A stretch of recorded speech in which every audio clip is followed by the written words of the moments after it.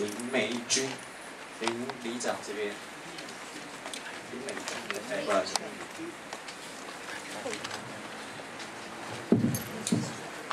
嗯，主席，还有各位局长，还有区长，各位议员，大家好哦。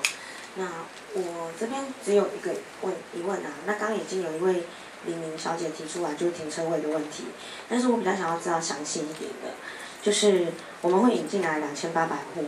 那我们的停车位会规划几几个？那再来就是我们的巷弄全部都是狭狭窄的巷弄，目前已经两边每一条巷子都停满车子，无论是车子或是机车，那大家都为了争车位，一定会有一些不愉快，所以呃在这样子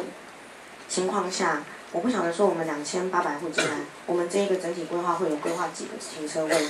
这是第一点。再就是我们会不会开放像您刚刚说的，就是奖励的停车位，那每个里可以开放几个让我们使用？因为如果大家要